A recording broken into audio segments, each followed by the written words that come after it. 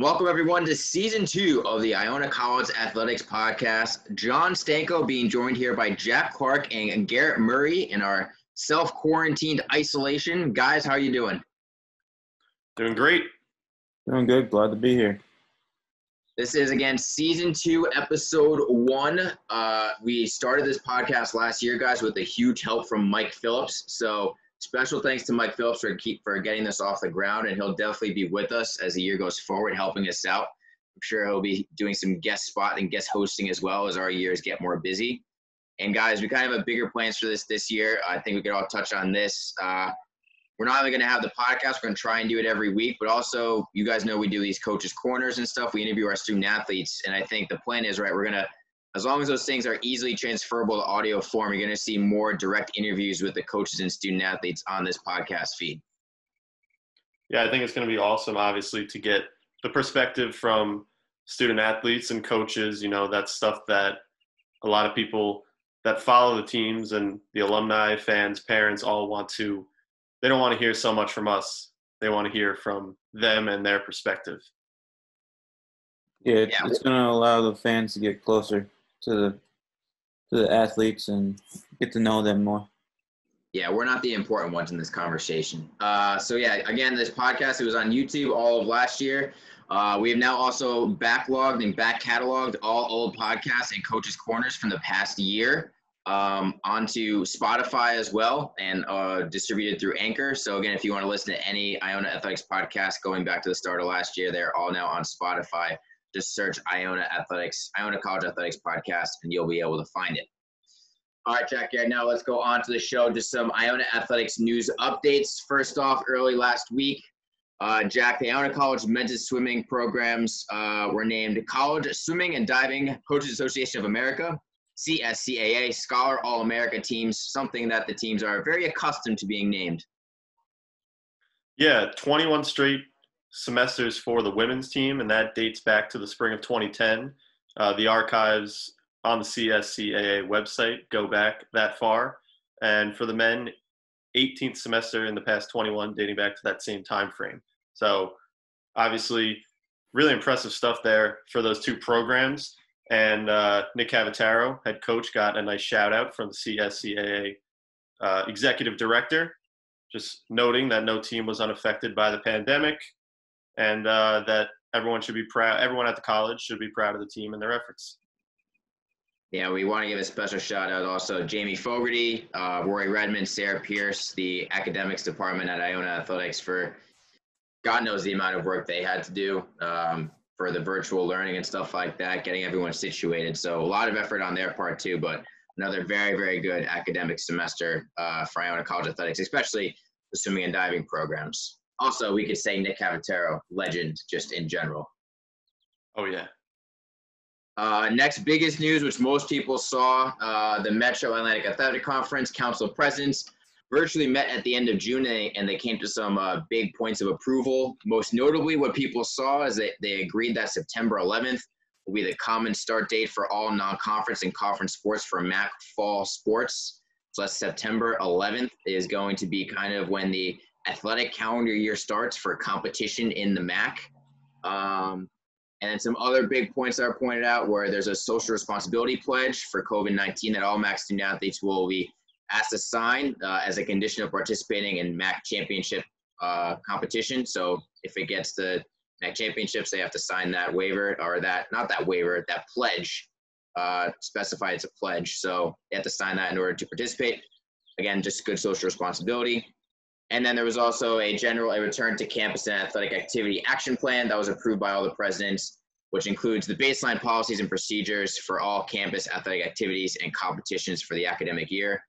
And can speak behind the scenes that Director of Athletics Matt Glovaski is members of various committees and especially working with Sam DeRosa, uh, again, head of sports medicine at Iona College Athletics. And they've been working diligently to get those protocols in order. And we're going to be in good shape come when the student athletes get back to campus uh, in early August. And again, the MAAC Council Presidents is going to meet again on July 15th, where they're going to analyze what has happened in the time since our last meeting uh, and review the resumption of fall sports efforts. So some big news there. Again, most people know it's September 11th, the common start date for all non-conference and conference contests for MAAC Fall Sports.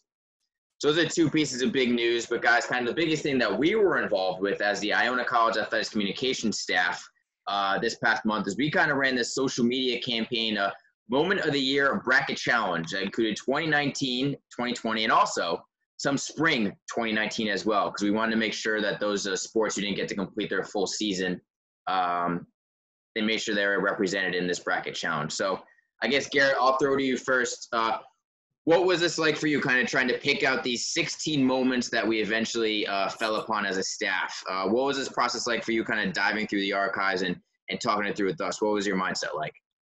It, it was a fun, fun environment. Um, just going back and remembering all these moments that happened and where you were and how you reacted, it kind of was like a second time seeing it, and it was fun.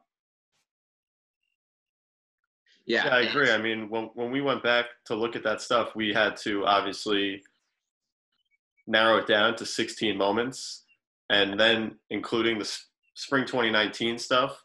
That you know, we had a pretty big list that we had to narrow down afterwards, but it was fun to, uh, like Garrett said, go back and sort of reminisce on those moments and where we were, either being there or you know following along live outside of the actual competition itself. Yeah, we kind of, well, we probably had a list of like 25, 30 off the bat, and then it was kind of whittling it down from there, uh, making sure we include all sports that we possibly could, because uh, there are a lot of great achievements across all the different sports. So for people who didn't follow along with the Moment of the Year bracket challenge, uh, there were 16 top moments and achievements that were chosen from, and then there was votes that took place uh, every day over Twitter, Facebook, and Instagram story in which we tallied up all those votes and took the percentage and the moment that won the highest percentage obviously moved on to the next round. And I will say that the placement of each moment in the initial bracket uh, was completely random and it was literally drawn out of a hat because that's exactly what I did. So literally every single moment drawn out of a hat for their first round matchup. And we should mention now because it's over. The big winner was Brian Kelly, uh, becoming the winning the winningest coach uh, for a single program in Iona College athletics history. Um, I mean, remarkable thing. Sat on. Uh, he now has 379 wins. That was the record that he set with women's water polo. He got that achievement back on uh, Saturday, February 22nd, when the team swept um, Villanova and St. Francis Brooklyn in Poughkeepsie, New York. So that was the winning moment. And Garrett, I think it's safe to say we were shocked at the amount. Well, not necessarily shocked. We were impressed with the turnout and the rallying cry for BK, especially over the semifinals and finals in terms of the people getting out to vote for him. Oh, it was incredible. His alumni base just took it by storm, and no one could catch him. No, nobody could catch him. Again, we had in the final vote, the final vote was BK's uh, winning record versus uh, the women's soccer team kind of turnaround season. Really, kind of it changed changes the outlook for the program and it can't. And it happened on that last regular season win against Rider, which Jack secured one of their best seasons this entire decade. Yeah, it was it was an incredible turnaround season for them and, and a changing of the culture under first year head coach Todd Plourd. And obviously another thing that you said almost shocked and impressed of the turnout of the women's soccer fans carrying them to the championship uh, in the bracket. They uh, it was the epitome of their season inside that bracket as well. They were down in the first 12 hours of the vote, and the way everything was trending was, you know, it was whoever was up halfway through that bracket usually advanced. But Todd was able to rally his troops and along with his team, able to uh, garner a lot of votes for them in those that second half of the voting and push them all the way to the championship. All right. So when we were making this bracket, when we picked out these 16 with these 16 moments, did either of you guys have a moment that you thought would would kind of be the front runner? Uh, it might have been BK Wing at all. Um, I know he was probably in the top three because I knew his fan base would come out. But was there a moment that you thought was kind of a sneaky one that you thought would that you thought would get the win? I don't know if I thought there was a sneaky one, but I thought because cross country and track and field was so well represented in the bracket, I thought that was a fair, you know, that was my my guess was that one of those moments would come out on top, just because you know you look at the size of that alumni fan base and just look at all the success they've had. I mean, that was my guess initially. Initially, I, I'm with you where I thought you know BK would make a good run at it because, like you said, of of the support that he has. But my guess was cross country or track and field. To be honest, when we started this, I thought it was going to be a easy win for men's soccer in their MAAC championship from this past fall. But anything can happen. Hey, it was up to the fans. The fans voted. This is all a fan vote. Uh, yeah, mentioning the the cross country track and field program, they had three moments on this because, to be fair, they had a remarkable, remarkable season. Uh, again, sweeping the MAAC championships. Um, they had two All Americans at the NCAA uh, cross country championship, and Egle Morenaite and John Millar. And then also at the MAAC Indoor Track and Field Championship, uh, they swept the major awards there as well. Again, Egle taking the top prize, and then a great story with Jack Hawkins. So, but also, can we just mention the the cross country streak sweeping it again? Um, men's cross country winning its 29th straight, which dates back to 1991, and women's cross country 14 out of 15, I believe, too. So I mean, that's it's just it's bonkers. It's it's absolutely insane. It's clockwork. It's like clockwork. It's just You can't you can't believe it until you see it. Yeah. It's one of those things that And we should say that in our research for this, there was a great moment uh, that we found out women's rowing too uh, back in their spring season last year. That their lightweight four, they reached the Dad Vail uh, Regatta finals for the first time since 1992. So getting an achievement that hadn't happened in what 28 years, and to have that moment last year, uh, very big for their rowing program as well. So that one, when we did the research and we found that one, that one really did stick out. Um, but let's talk about some of these moments because we all were there for some of these moments. We all were there experiencing. We had our own little memories with it. And let's start with the MAAC uh, men's soccer championship. I know that both uh, Jack and I were there at the game. And Jack, this is your main sport that you cover. So talk about what this day was like for you. You followed them through the championship run. We're all at the championship game, freezing our butts off uh, at St. Peter's at home field. So what was the moment like for you when they won that championship? And you got to travel to NCAA's too. yeah, the moment for them actually when the game itself ended and they were champions was incredible because you know for what we have to do you know we have to put us being a fan and supporting the team in the back seat a little you know but right there that moment you just wanted to capture everything. So we had our phones and our, our students that were helping out with the cameras and everybody just rushing the field. I mean i have a video still on my phone of me full sprinting out to the field, camera shaking, trying to get all the fans from the opposite sideline meeting the players, you know, in that back. I can still see it in that back left corner of the field, and I have a video of you. you can see yourself in the video, just your full sprint with the camera up above your head, trying to capture everything. I mean, that that itself was incredible and something that I was never really a part of, which was awesome. And but then the other part of it is I had to put that to the back seat, you know, the urge to celebrate and high five everybody, but because I had to grab players and coach to go now to the, back to the other sideline, stop celebration, talk to the ESPN, you know, get everyone settled and, and in place for the ceremony itself to get the shirts and the trophy. I mean, it, it was, I mean, it was wild, but it was so much fun.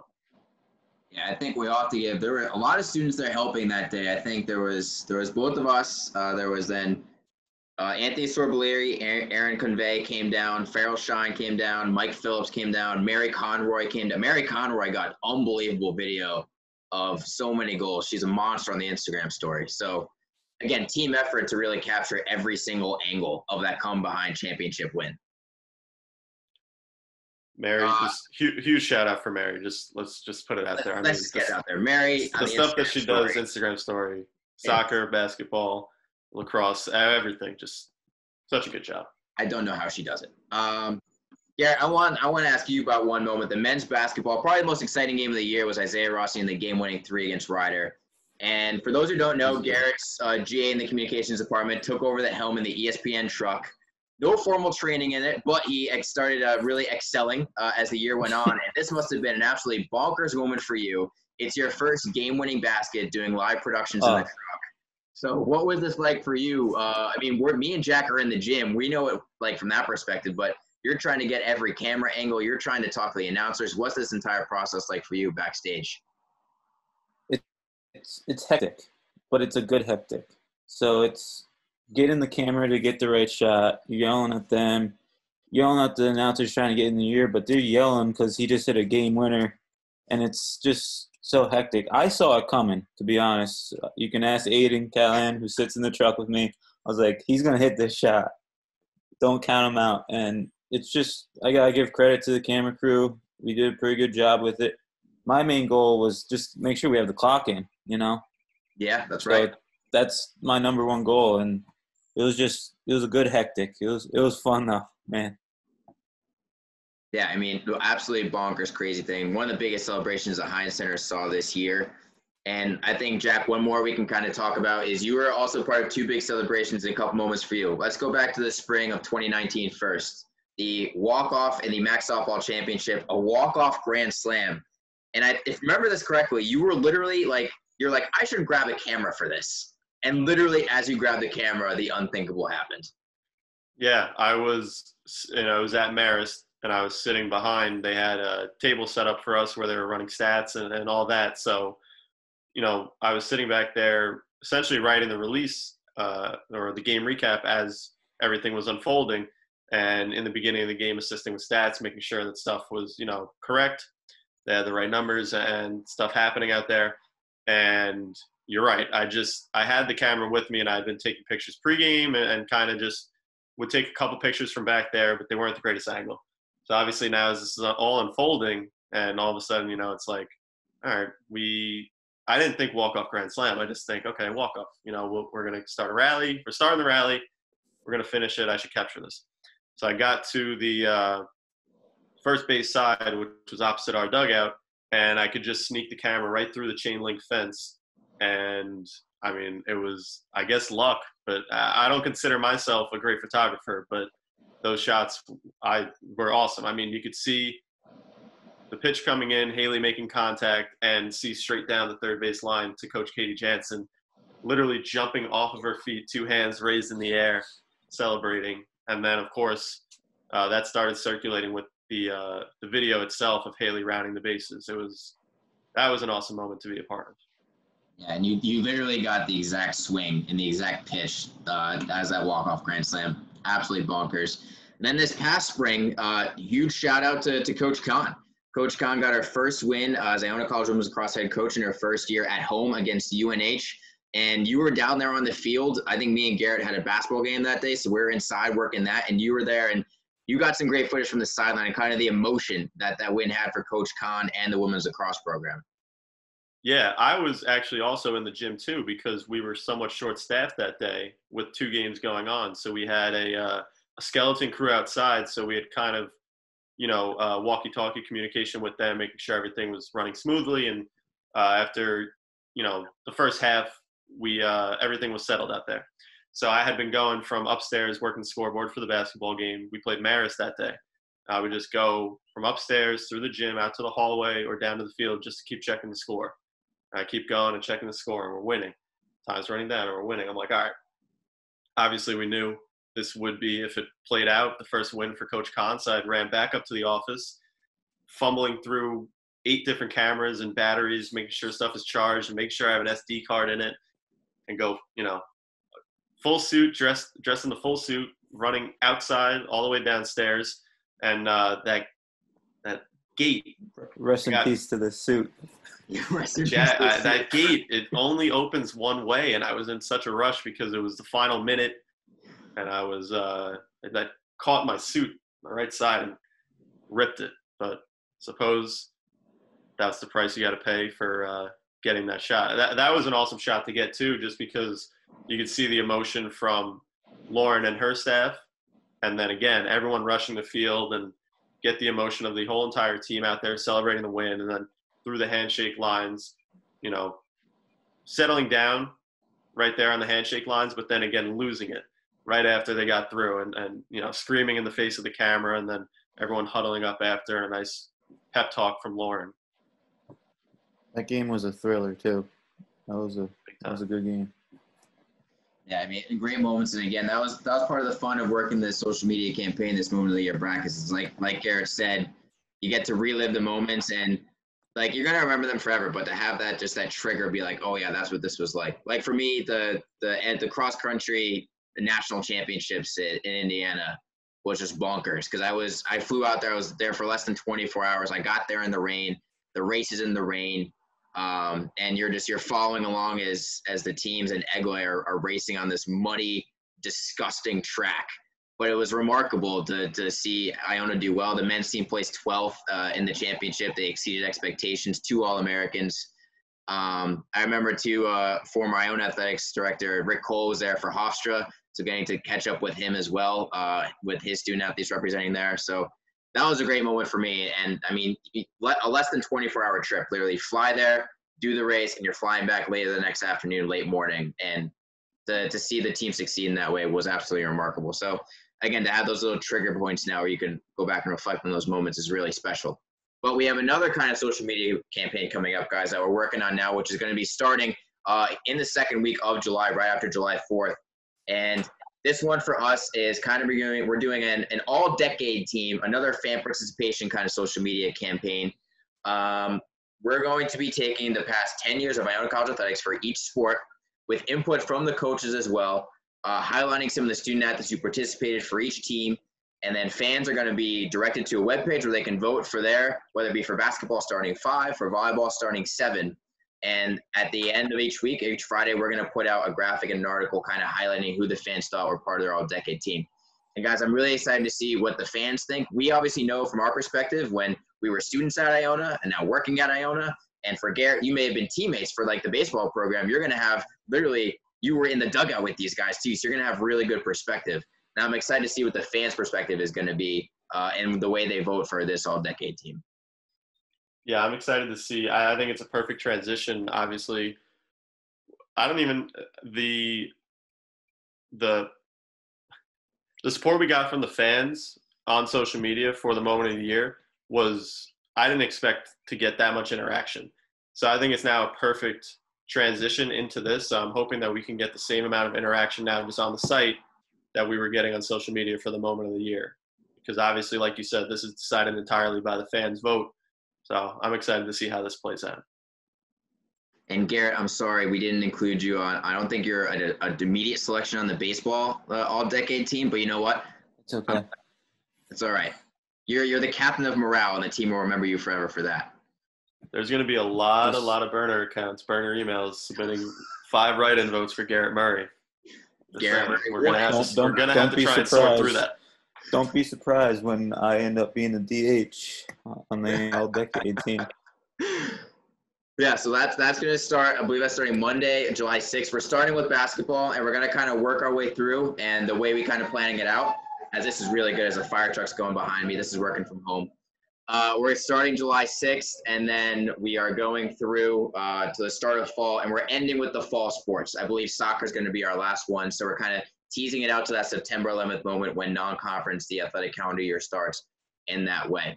And we should also uh, talk about the MAAC is running their own 40-year celebration, and we all met as a communication staff with Brian Beyrer earlier this week, and they're doing uh, they're asking each school to pick out five student athletes for each sport and the MAAC's can be highlighting each sport, each team, those five student athletes as part of their 40 year celebration. And that's going to be starting soon as well.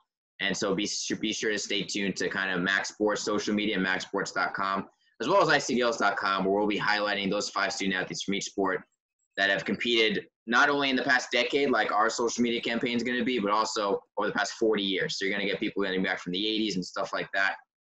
And I think we could all say having the resources of, say, a Nick Cavataro for swimming to dive back into the record books, or for BK for women's water polo, where you literally just ask, like, hey, BK, you literally have been coaching this team since its inception. Who do you think the five should be? What, what's your input? So it's very good to have those resources here. And I'm excited to see what the other schools do as well, because obviously we have a relative history about each school, but what each coach from each school uh, kind of puts on their five, what their input's going to be, I'm excited to see what that's going to be like.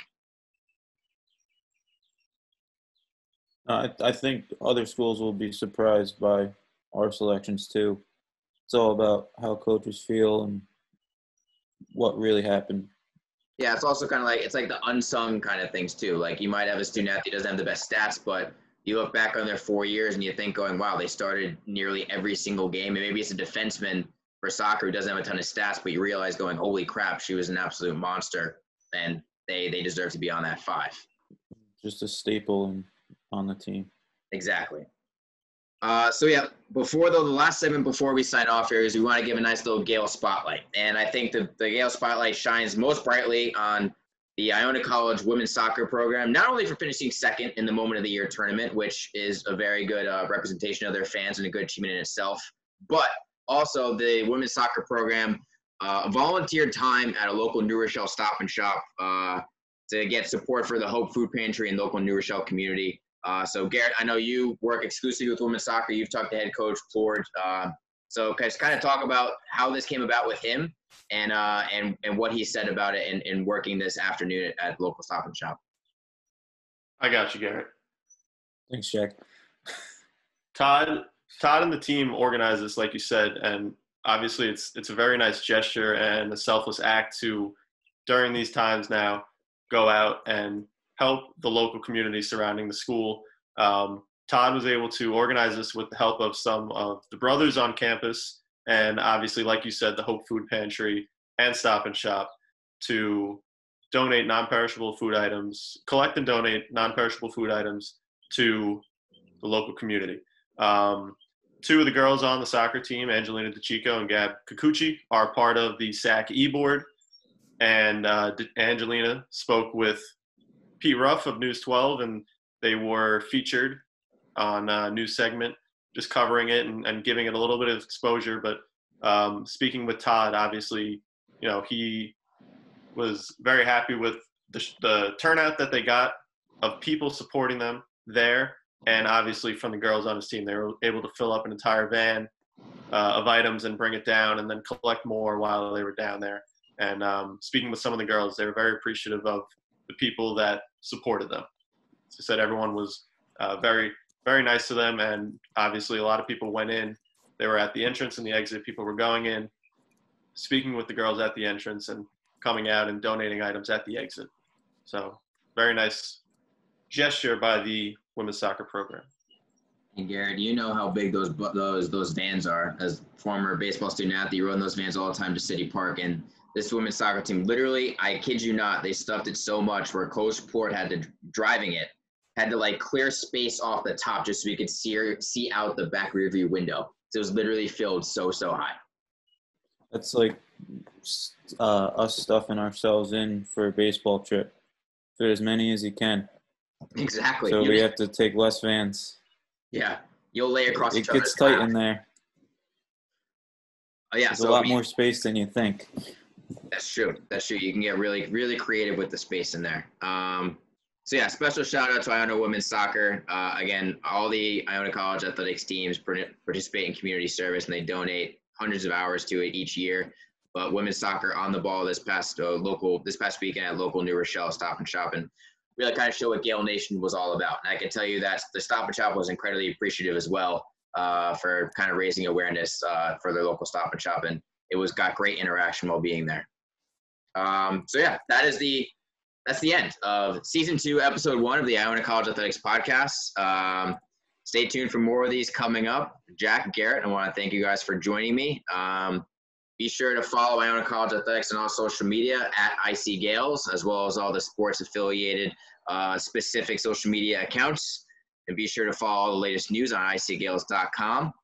And I think the biggest thing we say uh, for everyone in Gael Nation, guys, we could all agree on this, is uh, definitely everyone be safe and thanks for listening. And any feedback on the Iona College Athletics podcast or any support for Gael Nation is much appreciated. So I think we can all say stay safe, Gael Nation. We'll be hearing from you soon. Stay safe and hope to see you soon. Go Gaels.